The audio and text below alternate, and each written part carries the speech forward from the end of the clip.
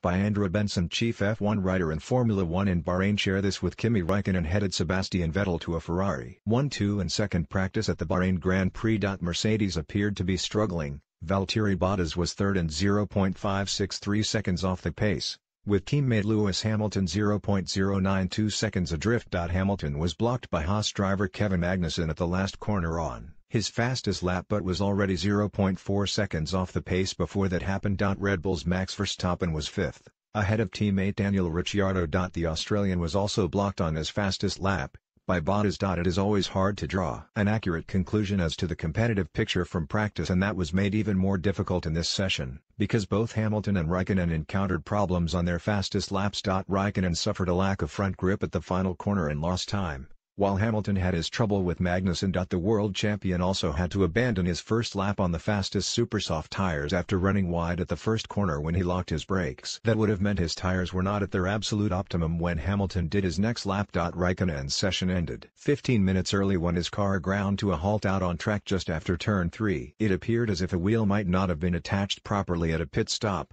he had just stopped for a new set and the mechanics were waving as he left the pit. stop. Ferrari are to face an investigation from race stewards after the session for an unsafe release from the pits and could in the worst circumstances face a grid penalty. Even Red Bull's pace was not necessarily their optimum. Verstappen edged Ricciardo by 0.006 seconds but Ricciardo would have been expected to be the faster Red Bull had he not been blocked by Bottas because Verstappen's weekend was compromised by missing the entire first session. Verstappen then ran out of sync with the other drivers, doing more laps at the start of the session to get a feel for the car, which meant the track would have been in better condition for him when he did his fast lap later in the session than others. The gap between the Ferraris was also small, Raikkonen had a slight edge on pace, as he had in the first race of the season in Australia, but was just 0.011 seconds ahead of Vettel. Best of the rest was Renault's Nico Hulkenberg in seventh, ahead of the surprising Toro Rosso of Pierre Gasly and McLaren's Fernando Alonso and Stoffel van Vandoorne. If those positions are repeated on Saturday in qualifying,